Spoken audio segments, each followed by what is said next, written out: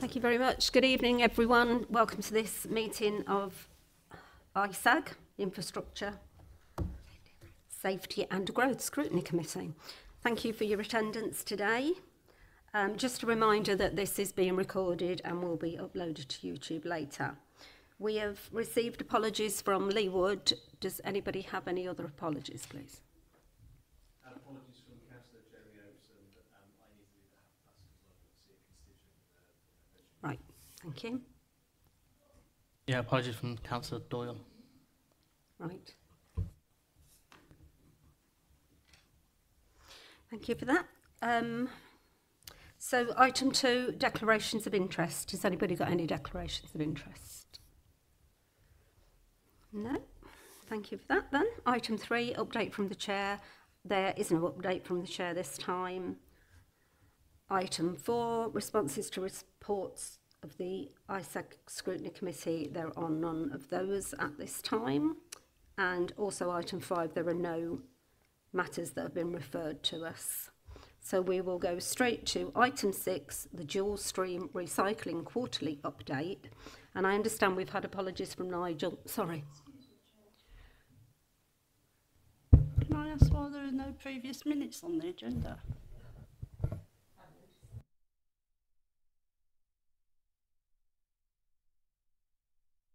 So I didn't have time to publish them before the agenda. Right, that will be my fault then. But They'll be on the next. yeah, we will, we will do them the next time. And you can imagine why I haven't seen them and haven't okayed them. Sorry about that. But we will make sure that we get them on the next time so that they can be scrutinised. Okay. Okay, because it's very important that we are all happy with the previous minutes. So, yeah, sorry about that. On to the dual stream, and I understand we've got apologies from Nigel Harris, but we've got Steve G and Victoria Wood House here to give the report if you'd like to carry on. Thank you. Okay, good evening all. Um, I'm obviously Steve, this is Vicky. Um, we've got a report to bring about the Joint Waste Service. Uh, my apologies, it's not death by PowerPoint, but there is a lot of data. I think um, one of the keys about the service we deliver, it is data driven once the service is right. Um, some of the information that we've got across, it's worthwhile after the conversations that it's worth absorbing, having a look at, and it starts to show some of the trends that are going on, not just across um, Tamworth, but across Lichfield and- and Staffordshire as a whole. Um, so I do apologise that we are going to have a lot of facts and figures coming out for comparisons to try to make it manageable and compare um, and, comparative. I've generally taken a period of a five-month period of this financial year versus the five months from the previous year, just to give you a snapshot of, of how we're going forward. Um, the good news is performance is stable. Um, the, the whole service is running pretty much as you would expect it to when you've got a, a bin lorry service and a recycling and waste service. So it, it- it's good news on that. Um, cruise-wise, we're on budget. So again, there is some variance which I'll touch on later in terms of the, where we are against budget, but we are maintaining the operation to the, to the levels that were preset. Um, I, I did want to bring up, just so it's on, it's on people's radar, there's obviously been huge growth um, in the area, uh, both in Lichfield and Tamworth over the, over the past year, and that looks to continue. It's worth being aware of because the growth in figures does have an impact on the cost of the service and also the, uh, the, the tonnage that we produce. Um, however, to go on to some of the facts and figures, um, and a lot of it's good news, I'm pleased to report. Uh, we had an average of 350 missed bins per month at the moment. Uh, if we compare that with the previous period last year, it was 736. Uh, trust me when I tell you that there is a lot, a lot of work going on at the operational level and a lot of effort going in still to try and reduce those uh, figures further. Um, that's particularly focused on assisted collections, which again we do. I won't say mess up. That, that that's a bit harsh, but we do get wrong, and when we do get them wrong, it does affect more vulnerable residents. Uh, complaints are down uh, over this period this year, so we're down at an average of 1.6 complaints uh, per month versus an average of 11.6 in the corresponding year. Just to get that into some kind of perspective, the five-month period that we're talking has been over a million uh, collections. So those small number of complaints shows that we're, I, I believe we're doing a good job. Um, those complaints that we do get, obviously we will deal with. Uh, I'll touch on blue bags because obviously in the past there have been issues in introduction of the blue bags. We have got plenty of stock there, it is available, so if any residents do actually require additional, they're available FOC and we will get them out on, on request. Um, the new service and the dry recycling service, the good news is that the majority, the vast, vast majority of our residents do, do engage. So, um, and if you don't mind, I will separate the high rise at the moment in terms of this. But if we go around the majority of our locations, so the, the housing estates and the communals, it's fair to say we have 98, 90%, 99% uh, participation. So the vast, vast, vast majority of residents do engage. Um, did want to touch on the garden waste service. The calendar or the, the, the window is just closed for this year and we did have a total of 44,000 uh, residents that subscribed to the service across both across both councils. Um, the percentage wise, that was 65% Lichfield and 35% of Tamworth residents. I, I bring this up now because it ties in later with the green waste tonnage. Uh, it's nothing to be alarmed about. You've realistically only got to take a look at the urban uh, mix. Tamworth's over, is it 15 square miles? Vicky? 12. 12 square miles. Lichfield's over 151, and Lichfield has a lot, lot more rural leafy areas. Um, so that's why we get a lower, a lower take up of garden waste. Uh, contaminated bins, which I do like to touch on because we know we had the problems with the previous service on the single stream and the amount of loads we got rejected, uh, which did run into hundreds of thousand pounds worth of rejected loads. Uh, we still do get some contaminated bins, but the reality is that's a sign that the crews are actually doing the job and checking the bins when we go out. Um, we're averaging about 50, well, just under 1,600 bins per month, which again is down on 3,100 so uh, from the previous year. So it's half of what we were getting. We don't want contaminated bins. One, it tends to frustrate residents whose um, recycling we don't take away, and secondly, we lose tonnage. So we do work on this. The, um, the recycling officers do go out, they do visit people, they do try to give advice uh, and guidance to um, so we can sort of capture that that recycling and get the numbers down. Um, the good news is on that that the fact that they are actually stopping the contaminated bins is the quality of the product that we're producing. As a recycling officer, I can't stress enough that it is about quality and we need to collect the right product because it's the right product that goes into our recycling centres which gets the right the correct amount of money for it and also gets recycled back into to, to meaningful products. Um, the good news is, and I'm sounding like a stuck record here because this was the same message last time, since the new service started, we've had one rejected load, and hands up, that was an error at the depot. Uh, we cross-contaminate the load in error.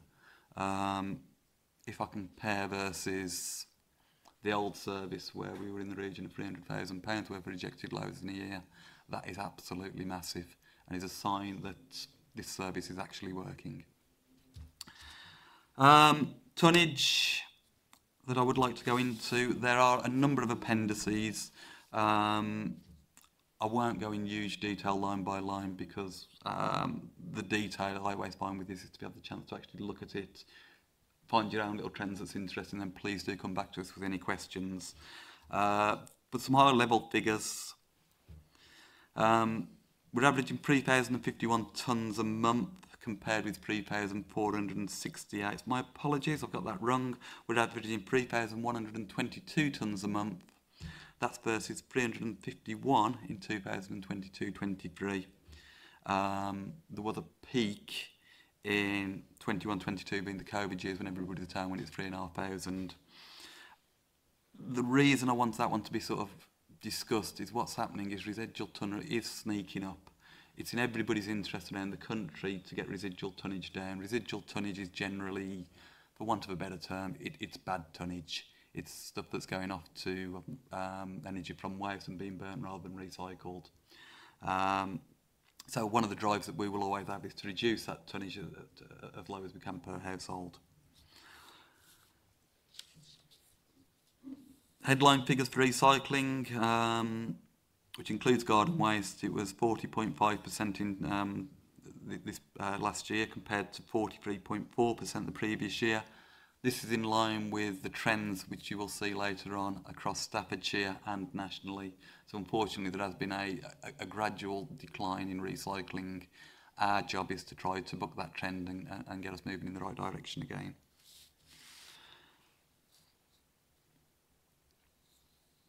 It's fair to say as well, just on the joint waste service, uh, we're doing 1,213 tonnes of dry recycling, down on 1,270 tonnes on the previous year. Again, I can't stress enough that what we've actually seen is a small increase in residual and a small decrease in recycling. So we need to all work in that avenue. That's um, operationally, residents, councillors, members, everybody to try to get that, that, that um, trend reversed slightly. Um, I, I do stress again that that is a, a general trend. So we have seen curbside recycling fall about 18% over the last two, three years.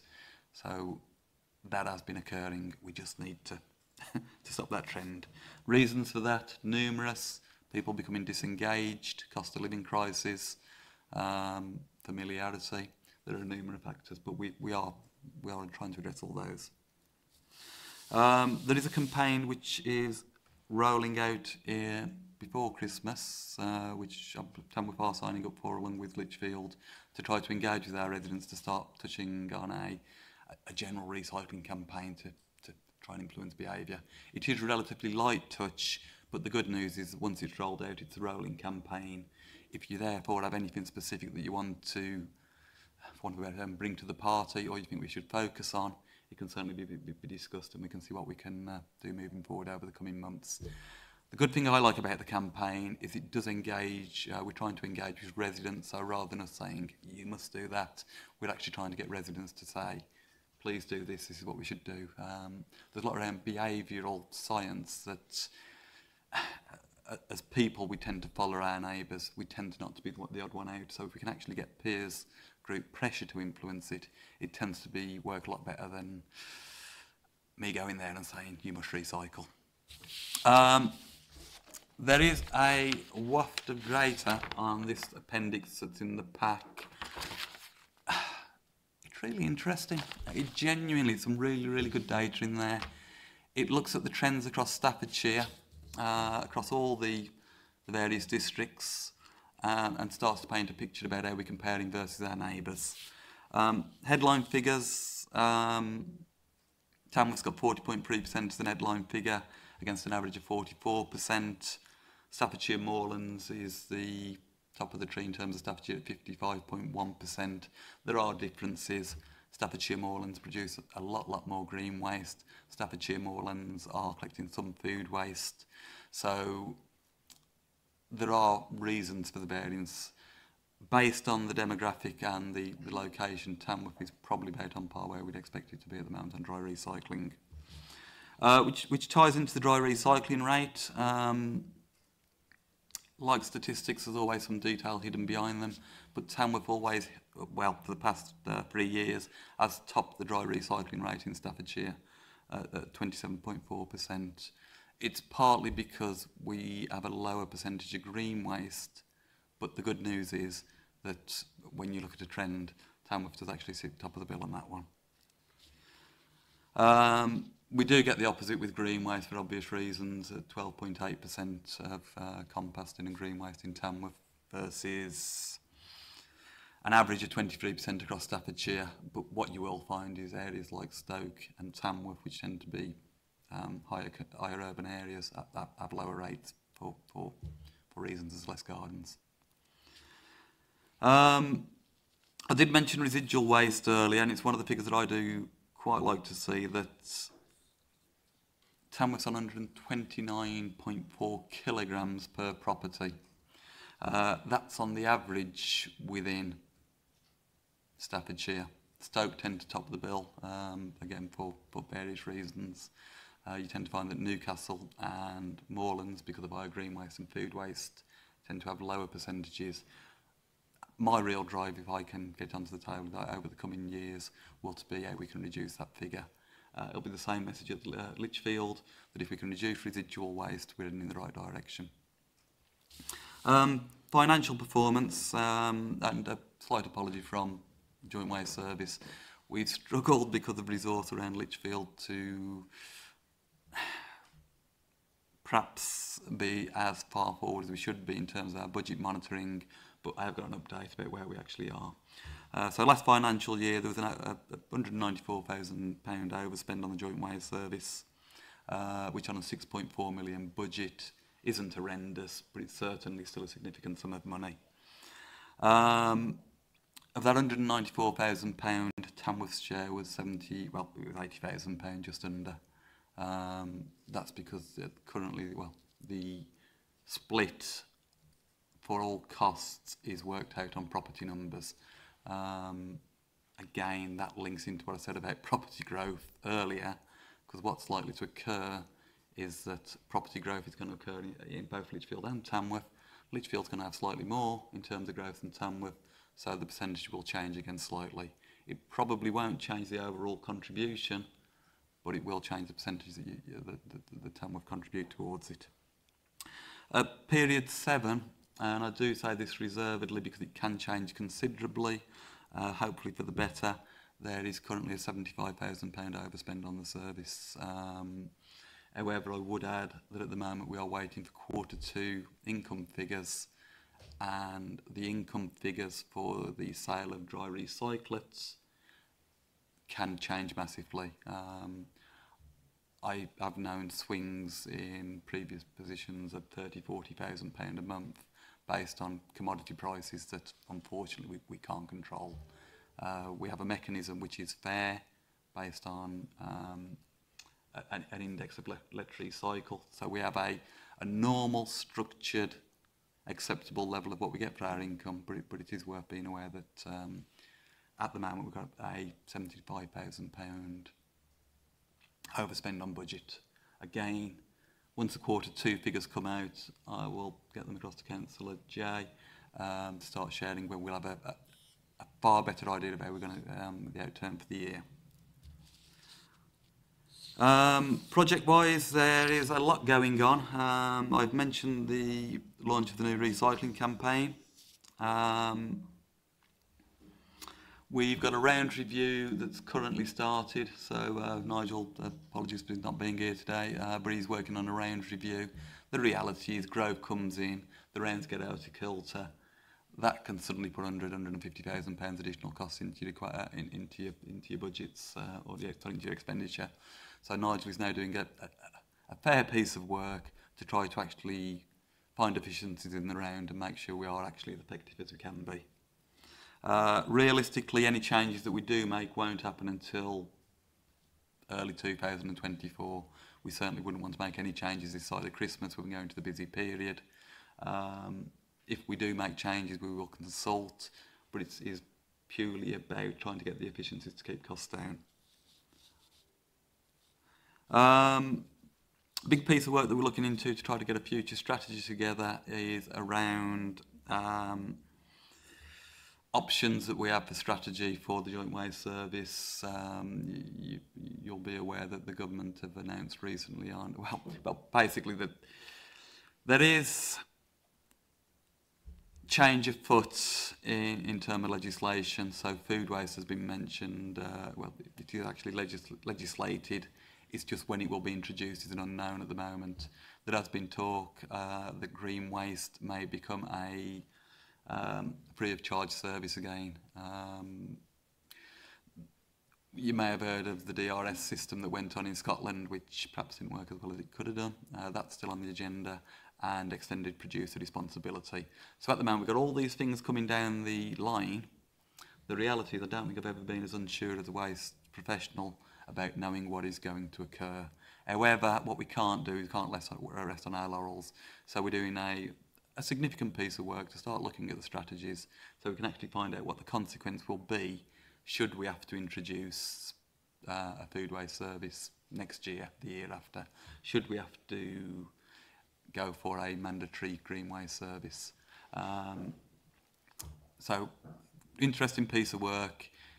It is the outcome of which should become available um, by the back end of next month. And again, as soon as we've got it, we will, we will share it. With, you, you can see the meat, meat, meat on the bones.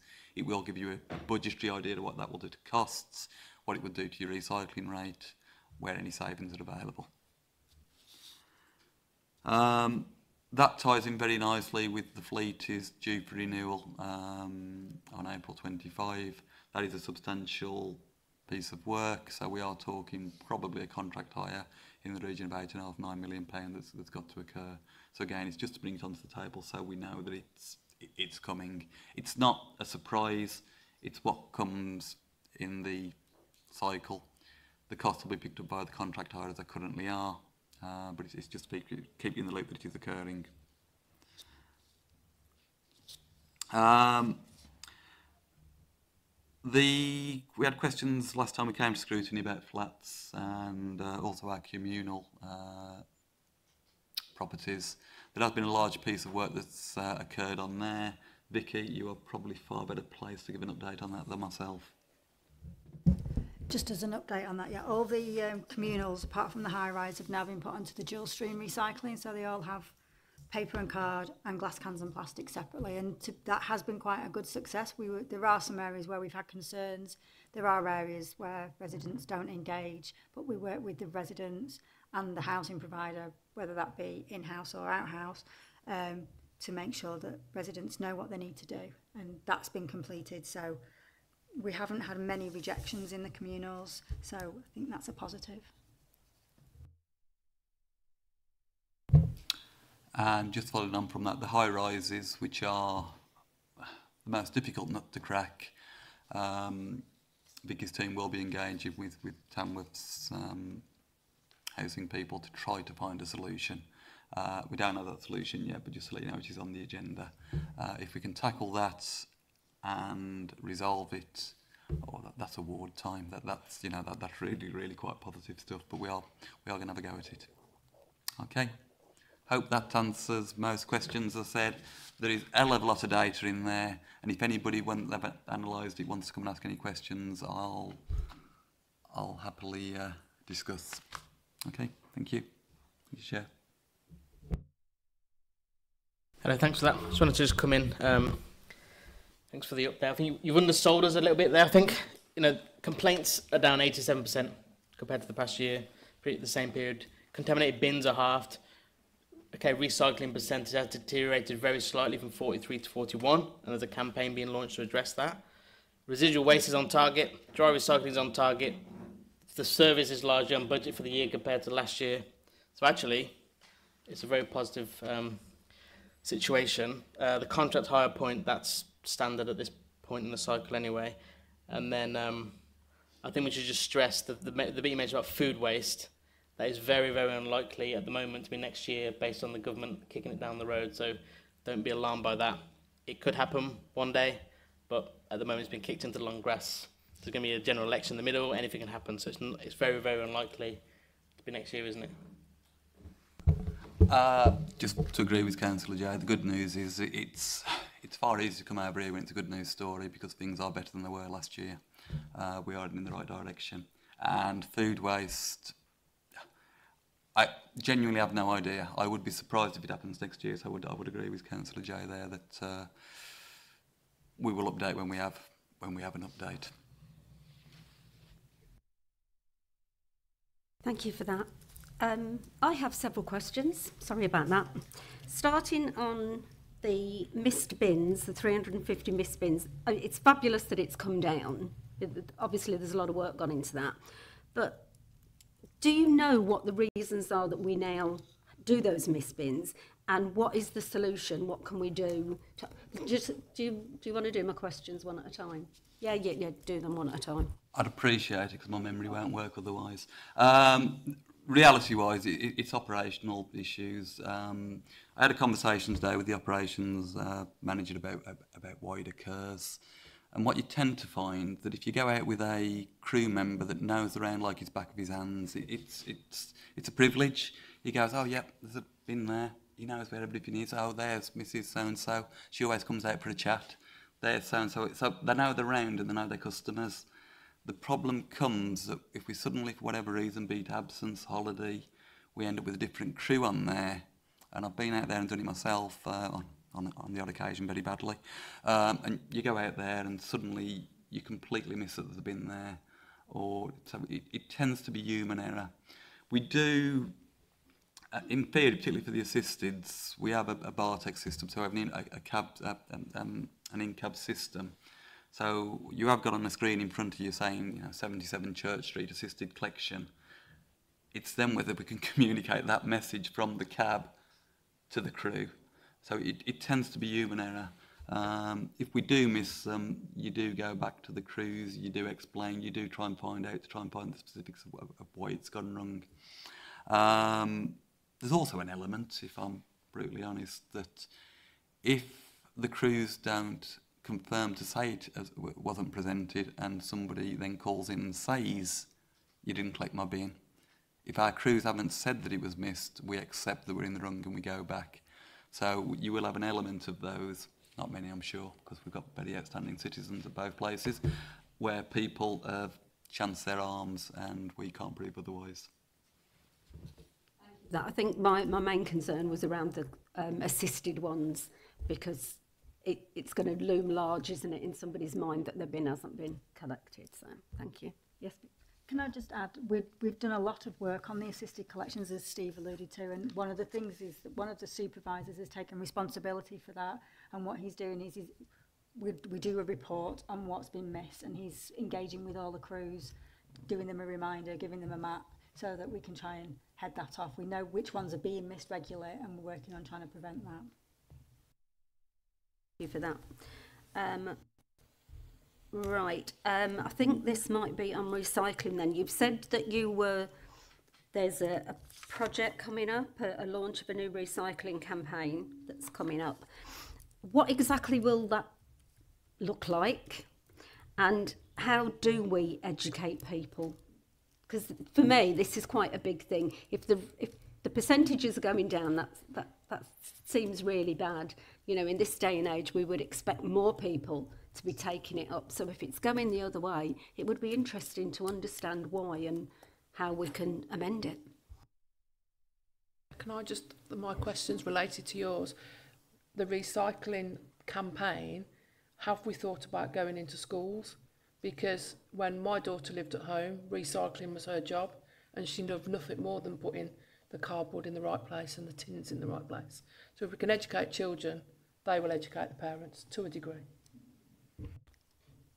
That's, the, that's part of the plan. Um, we are still, it's still being developed and once it's ready to be rolled out, we want to come and, and show it you before it gets shared with everybody else.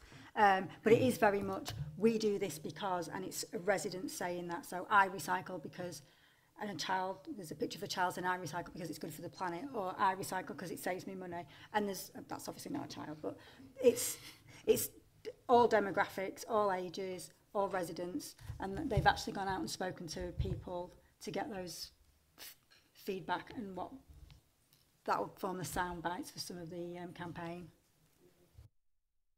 We'll look forward to seeing that when it gets to it then. Um, on to the food waste. Um, I'm, I'm hearing from both the officers and TJ that we don't really want the food waste thing to come in. I'm not quite sure why we don't want it to. Were we not looking to do this anyway? Because would it not be a good thing? And did we not do it a few years ago? I seem to remember Tamworth Borough Council having little um, buckets for food waste, yeah, in um, Mr. Oates senior times. Yeah, I think um, you can correct me if I'm, I'm wrong. Um, there's a lot of budget constraints and pressures anyway at the moment. To in- introduce something like that when it's not mandated and be one of the first, you know, the front runners of it, everything will be more expensive. Once it's something that's mandated and, you know, there's, there's lots of scale in it, it should be arguably, in theory, be cheaper, and that's the, the, the time to do it. That's, that's the thinking behind it. Correct if I'm wrong there. We do expect it for government to bring it in then at some point. Just to agree and expand on Councillor Jay's point there, um, we will have some idea of some costs involved in introducing food waste um, shortly. I, I worked at Newcastle Council, Newcastle under Lyme recently, where we ran a food waste service, and it was it was pretty successful. It was good. It's seen as a highlight. Um, it does cost money. It was costing considerable money. The, the other oddity at the moment is that I suppose well, there will be new burdens funding coming. Um, when that new burdens funding is coming, we do not know, but if you can put it, just to, very, to really simplify one element of it, if you go and buy 10 vehicles at oh, £85,000 a, a shot, £850,000, and miss out on new burdens funding that's six months, a year, 18 months down the line. Um, I, I'd certainly have that in great big letters and make sure that members were aware.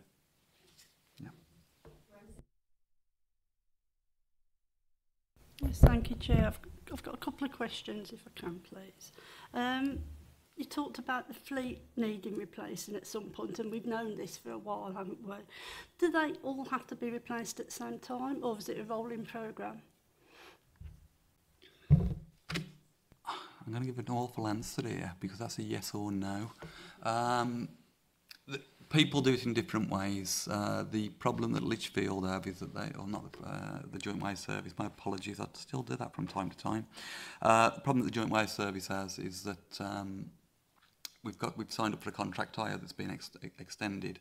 So the vehicles are all going to come to the end of that contract hire period at the same time and we'll need replacing.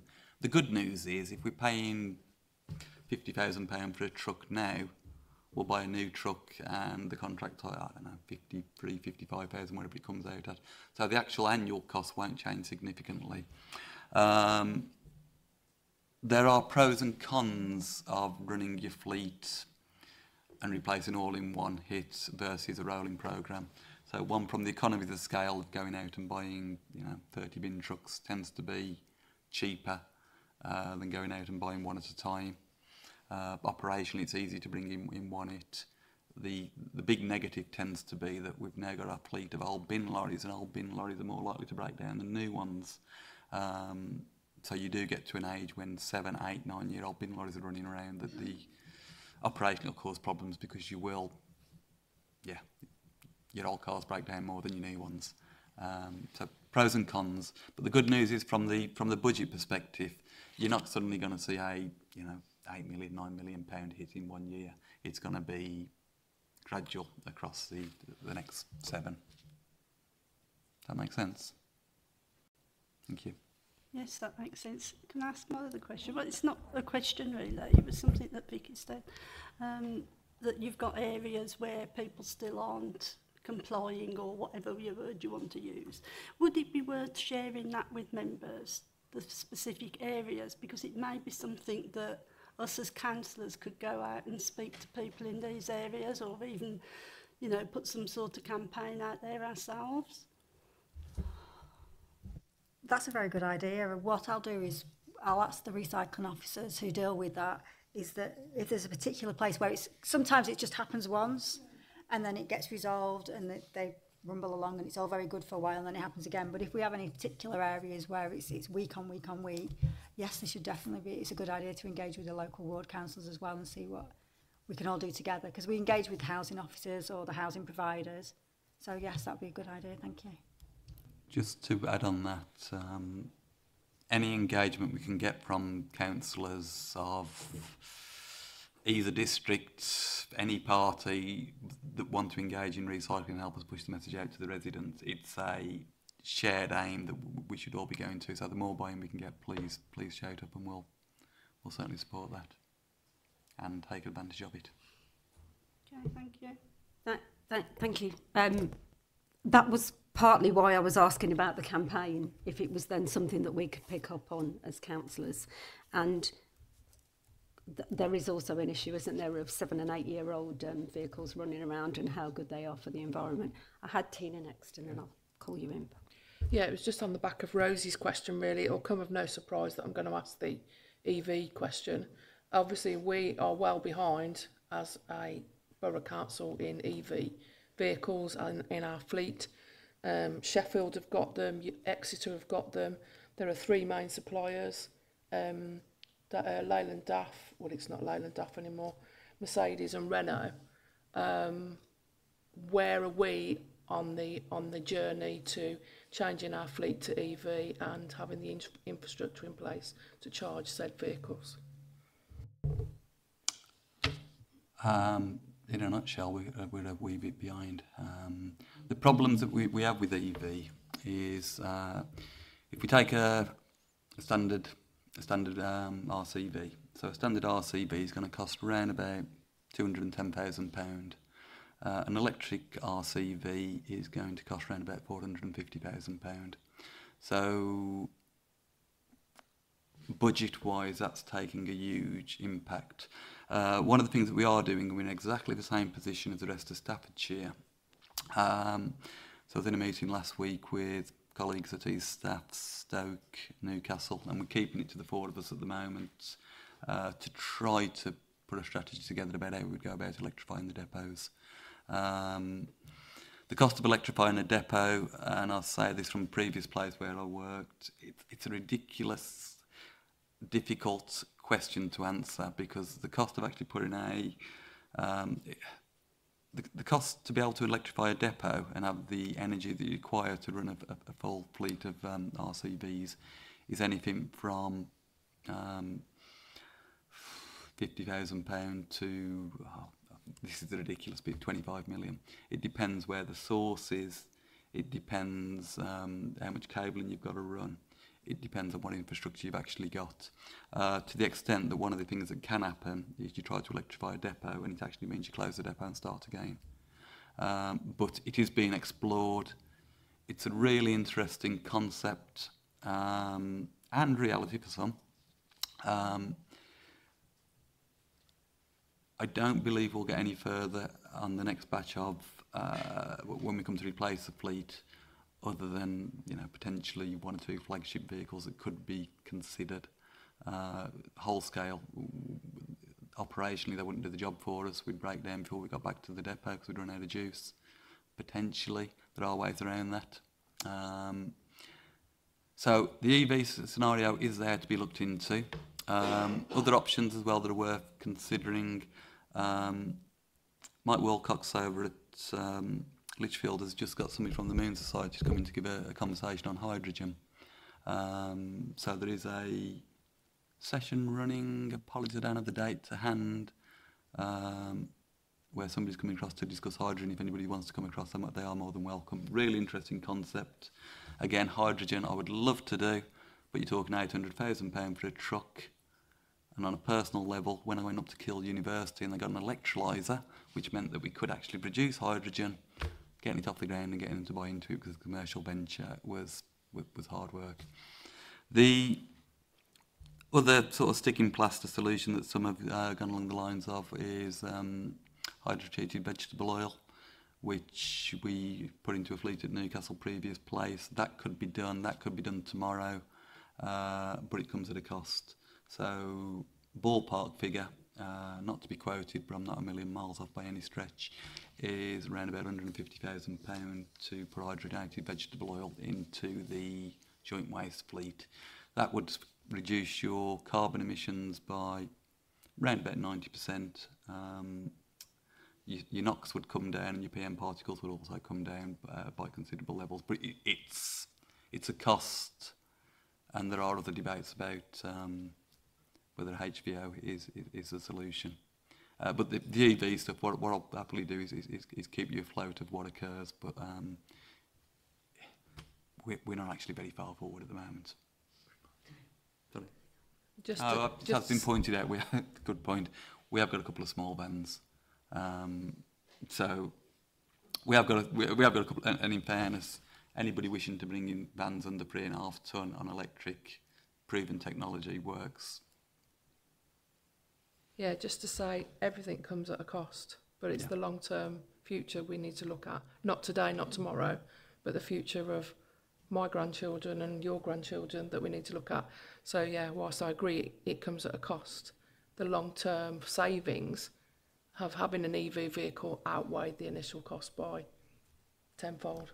Just on an electric vehicle that I've got, what you pay out every year is is way less than you when you when you look at it as a long term plan. Thanks for that. I just find it quite disappointing that it, it's in the too hard box. You wanted to come in, TJ? Yeah, I was going to say it's it's it's easy to look at it as what you you both just alluded to there, but like it's too hard to not be done. That's, that's not that's not quite the case. It's that again, correct me if I'm wrong here, but the industry itself is not rushing to that as a solution because by the time everyone's done it, that is likely to not be the solution anymore, and everyone will have run and put the outlay, and it's not the solution. So the H is it HVO, the hydrogenated vegetable oil, um, is one for example that's talked about that gets you almost the same uh, reduction in emissions, etc., for a fraction of the cost. So it's already been looked at. It's just not something we can run at. If we do, if we made the decision based on, um, you know, just wanted to do it first, we'd have made it probably a year ago, and now a massive outlay of cost that actually is useless in a couple of years. So we need to just step back a little bit and um, do what do what's right. And like you know, HVO is one that's talked about as potentially being the solution.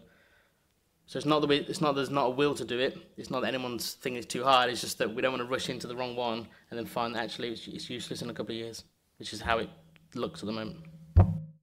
But we need to make a move. We're not moving at the moment. We're stationary.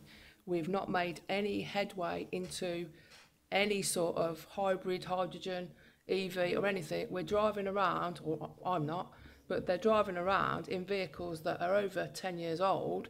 And you have to look at they're driving down a hmm. street, my street, for example, it's got kids in that street. They're not driving at huge speeds. They're on tick over while the bins are being emptied. How much is that polluting our atmosphere? So, whilst I agree with you, and I agree with you, Steve, about costs, and to me, it's really disappointing that we had this conversation a year ago, but where are we from last year to this year? There doesn't seem to be any movement. And whilst I agree, you know, whether it's hydrogen, hybrid, or whatever, we've not made any steps in the right direction to actually do anything. Because we could have had a hydrogenated vegetable oil vehicle like that, but we haven't. Sorry. Yeah, I, I totally, totally agree with you. It, it's just a shame that we can't get any further forward with it, and we haven't seen what the difference in the costs would be that a, a decision could be made on it. Just and it's it's just that those, you know, that many wagons, and they're all of the same age. You know, perhaps it would be a good idea if it was done piece by piece, but you say that's more expensive. You wanted to come back, Steve? just to uh, agree with the, the, the points that you're making, um, it is in the hard to do box, but that doesn't mean that you can't do it. Um, I'm intrigued to see what comes out of the work we're trying to do with our colleagues in um, that I mentioned before at these staffs, uh, Stoke um, and Newcastle, and it will be intriguing to see what actually comes out of that. Um, I've got increased personally. I've got quite frustrated because we don't seem to be able to get the answer to that first question about saying, well, okay, how much, for want of a term, how much juice can we get onto our site? Um, when we've got the answer to that, then I think we're in a situation where we can have the debate about, okay, can we afford that? What's the whole life cost of the vehicle? Um, et cetera, et cetera, et cetera. So it's, we need to, uh, as- an as a joint waste service and as a county, answer that question. And when we find out what capacity we've got in our depots and what we can do, then we can start to have some debate about where we can take it going forward. I will add as well, just to, to back the, the points the two colleagues in there said, HVO, although I always refer to it as a sticking plaster, literally you could, you could do it tomorrow. It, it just comes at a, it comes at a cost. Thank you for that. It just seems that, you know, perhaps that initial work should be done quite quickly about what the capacity is there. And if, you know, if it was joined up with the county, with other districts of the county, perhaps there would be some economies of scale. And the places that Tina has, you know, said have already running it, there must be ways that they get around the problems. So perhaps we need to be asking, you know, how it is that you get around the problems. TJ, do you wanted to come in? I was going to say that it, it's not because it's difficult. We've already shown since, particularly since May, that any difficult decision we are making, we're debating, be that publicly or behind closed doors. There's some things that some people in here know, very difficult things. We're not procrastinating on anything. So it's not because it's difficult. Um, there are just many things to consider. Let's take EV. So you, everyone talks about their own EV charging at home. Commercial energy is a lot more expensive than your, your residential energy.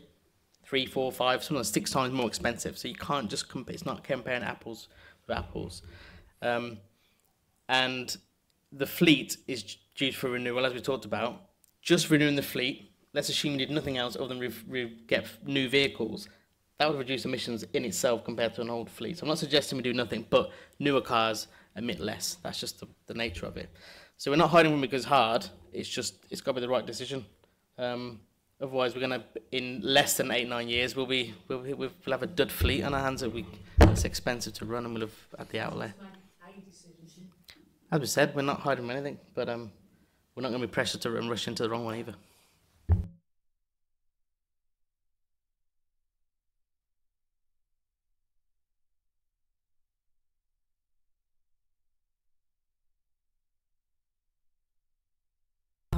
When we talked about the growth of the two districts, um, the amount of houses that are being built, will that, when you've done your review, will that ultimately mean more wagons and more operatives? Yes. A rough rule of thumb, if, uh, and, and this is only a, uh, a rough figure, uh, but if you work on 1,500 properties equals one bin lorry or one recycling truck. Um, so yes, we, we grow, we, we cover more miles.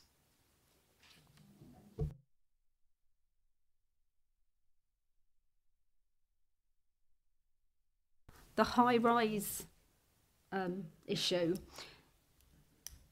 have you any idea what the solution to that is? Because having been in there and seen how they deal with their waste, how different it is to us at home, how do we sort out the um, the recycling and the you know our blue bags and whatever it is that we use that you know would seem to be quite a big problem for them. Thank you. Um, we have had discussions with colleagues at Tamworth. We have looked at different suggestions, whether it be a bring site, whether they utilise the sheds in the basements and put some bins in there. Um, we need to chase that up with our colleagues. They were going away and having a look and seeing what was feasible and what wasn't. So I'll re-engage and try and find out. I think there's been a bit of a staffing change as well, so I need to know who I need to speak to about it. But yeah, we'll get onto that. Thank you. I mean, I can imagine for some of the folk in um, the high rise, doing this may be, you know, a, a task too much. But there will still be lots of people in there who will be keen to be taking part and, and doing their bit for the recycling. So, yeah, if that can carry on being looked at, that would be brilliant. That at least that's coming on as well. Is anybody? Sorry, Paul. Thank you, Chair. It's just in relation to missed bin statistics, really. I'm just quite intrigued about um, recording of it. So if somebody in an apartment complex reports a missed bin, is that recorded as just one bin missed? Or is it the number of bins within that complex? Because it seems more realistic that if that one bin has been missed, they've all been missed. So I'm just wondering about the recording of statistics in relation to that, please. Thank you. The way it's currently recorded is if one person reports a missed bin, it's classed as one bin. Because some, it, it would, it might only be one bin within that complex. It, if it's more than we would, we would have to we wouldn't know until we got there. So it is just recorded as one. It's a, recorded as a missed bin collection. So it's it's per hundred thousand. It's per thousand properties, isn't it? So it's it's evened out. Yeah. So in fairness, you could end up with an oddity where you get a one person reports a missed bin where there were six presented, and when we get back out there, there are the six bins that we've missed. So that's, you could get oddities on it, but we we work on the idea it being one. Would it, to bring, I don't want to push it because you've got some great figures in there and some great progress and things like that. I'm just trying to get to a point where it's a little more realistic maybe. You know, would it be a case of the uh, you know, when the bin trucks were out, if they could then clarify, well, you've missed eight bins actually, would that not make the figures more realistic? Um, the crews should actually say uh, what's been. Um, if, if, if the crews have a non-presented bin, they should actually present it. Uh, that, that they will actually put it onto Bartec, and that will come up as a non-presented bin. I see where you're coming from now. The idea is if we actually go back out, put a missed bin and there's eight there. I don't. Is there a way to feed that back on Bartec? I don't actually know. Not into the service request because we we take our figures from the service request that comes through as opposed to any detail that's within that. But we can certainly look at it.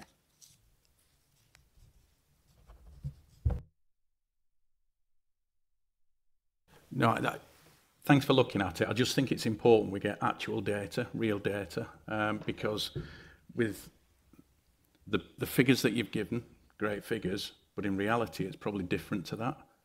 Um, you know, and, and, and we are after, you know, consistency and correct figures and correct reporting, and I just think if we could have a look at it, that'd be great. Thank you.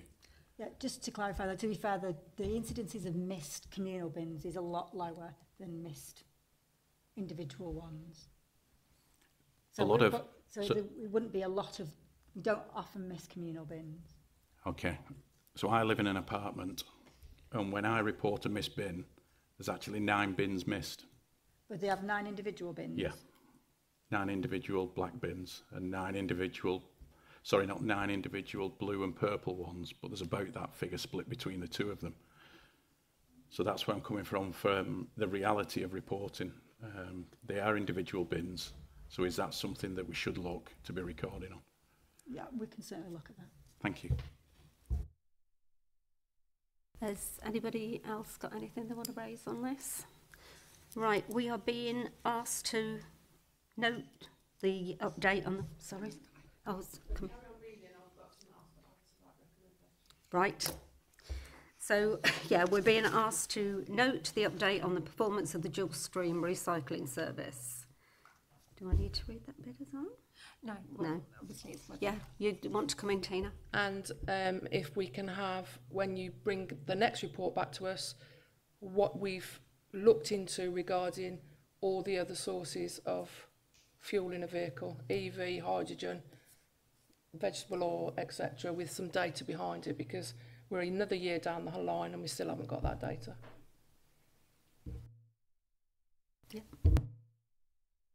And I look for a seconder, sorry. Can I just get your word in, Tina. Could you just say it again for me? We've got note, which I hate anywhere on Yeah. reports, I hate that word. Note the update on the performance of the dual stream recycling service and that the next report includes data on information sourced on how we fuel our next fleet, of vehicles. So we've looked into EV, we've looked into hydrogen, we've looked into All vegetable alternative oil. sources. All alternative sources, eh? So Yeah. you can put it better than me. And I look for a seconder. Everyone in favour? Yep, carried. So, thank you for that. Do, uh, do you want quarterly? Do you want to? Oh, yes, we, we were going to um, ask um, the committee if you still feel we need this report quarterly or if you, you'd still want it quarterly, right? We are at that then. The committee want it quarterly. That's fine. Thank you. And then just invite the officers to leave. Yeah, so I'm very happy if you want to leave now. Thank you so much for your report and sorry if we've given you a hard time, but everybody's quite passionate about this.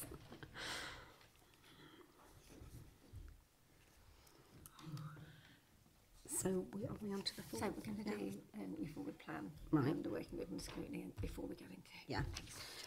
Right, thank you. So next um, item, members, is the forward plan. Which is the, the forward plan, isn't that? Is it? I always pick that up.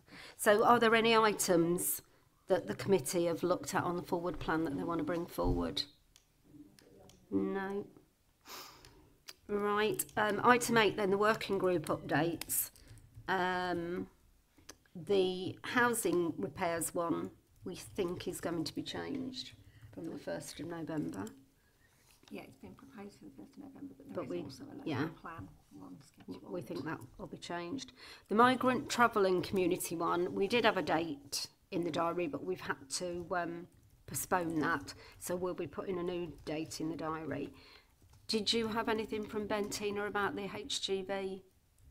No, we need to chase that up then, don't we? So I think that's a, if you can put that down, that's a big chase up on all of those groups so that we can um, get something done. So on to the, um, the work plan and the action log, which you've all got a copy of. Is there any comments on that? And there's, like I say, whether you just want to explain about the decant that you speak to, that we've agreed to do the post-implementation, implementation. On that, because it's going to cabinet, all right, we didn't have time to get it. So what's it? It's the decant Yeah, policy. one that Ben, Ben asked for. Right, the decant policy that we talked about last time, um, that's going to Cabinet. cabinet, yeah?